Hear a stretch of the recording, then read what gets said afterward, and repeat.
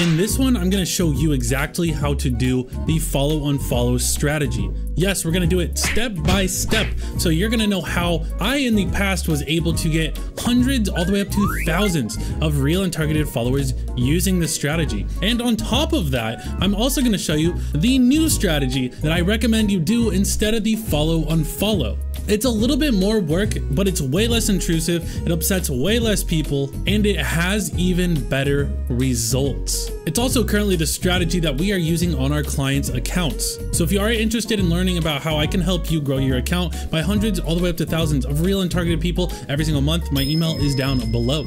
Let's say you're a car dealership or a car reposting account, something along those lines. The first step of the follow and unfollow strategy is to find other similar accounts that have the audience that you want to target and get in front of.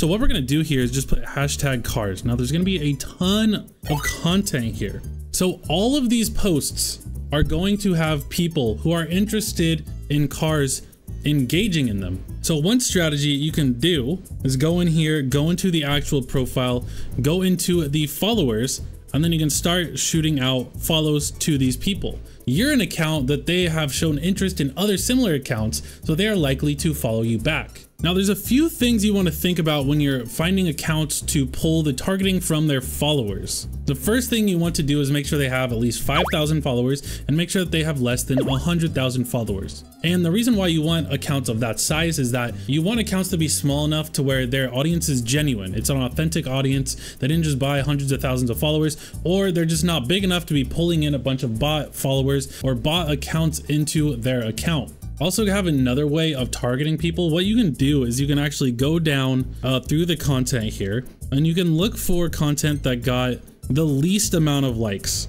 So let's go ahead and look at this one. Now, the reason why you want to find the accounts that have the least amount of likes is that these are going to be this person's dedicated audience. These are the people who are liking almost every single piece of content that this person posts. Another way you can target people is just using the hashtags like this, going into this content, going into the likes or the comments would probably be even better if you want super active people. Make sure that the comments look genuine and then you can go ahead and follow these people.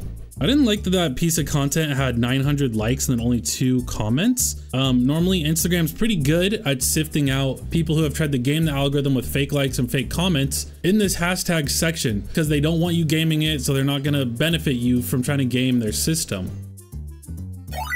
Here we go. We finally found one that looks like it has a ton of comments. Now you can go through here. Oh gosh, not that guy. What's the point of this? Yeah, you don't want him. I'd say like these guys keep up the good work, lads. And my stolen Range Rover hasn't been, whatever. These guys are going to be good guys to actually target and follow. So that's step number one is the targeting, but then there's also doing the actions. So Instagram has limits, and if you go over these limits, you can get blocked and even in more trouble than just them blocking your actions for a little bit. So how you can stay out of trouble is make sure you do about 10 to 20 actions an hour, follow actions or unfollow actions an hour. You can do 20 of one and then 20 of the other as long as you warm up to that a little bit. And you should only really be doing about 100 to like 150 follow actions and then unfollow actions every single day. Now that's going to get you in front of 150 people a day. Those are rough limits and it all depends on your account. If your account has a higher trust score, if you're posting, if you're active and Instagram knows that, you're gonna get away with more actions.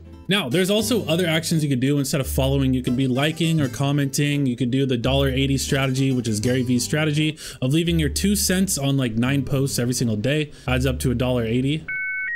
Or no, no, no, do that 10 times or something. I don't know, whatever. The point is that you need to engage with people to get your account in front of them. And they need to be targeted people who are going to find your account and whatever you're making content on interesting. So like for this guy, I could like his content and then comment on it. Sick, bruh. Heck yeah, dude, let's go. Now, as far as the unfollowing goes, you can go into the people you're following. You can go date latest, and then you can see all these people, all the car people that I recently followed. Now, you need to wait at least a day or two to actually unfollow these people. Uh, if you stick to the 150 follows per day, you go back about 300 to 450 followers or people that you are following, and then you can start unfollowing those people. So let's talk about this other strategy. That is the new targeted engagement strategy that I think is way better than the follow and follow strategy. It's actually pretty similar. This strategy is story viewing, story liking. So if you have a car account, which mine is not, then you would just be able to go into the reels here, swipe through and get a bunch of car content, which I actually did right here. So the story viewing and story liking is just going through these, liking the stories. Now you can do about 1,000 to 2,000 of these a day. A better way to do this is actually do the targeting the same way as the follow and follow. Get the list of their followers, put it all in a list every single day, check to see if they have stories, like a couple of their stories, go down to the next person on that list. This strategy is better because it's less intrusive. You don't have to actually follow the person and then unfollow him. So there's less, you know, bad juju there. You can do a lot more actions, which means a lot more growth. And you're just engaging, which helps you create and nurture the relationships with these targeted people who you will get to know and trust. That is how you're going to sell stuff. That's how you're, you're going to make super fans. Please consider leaving a like and subscribing. That helps more people find this content. If you're interested in working with me and having us do this work for you, my email is down below. I had a lot of fun today. I hope you did too. Bye-bye.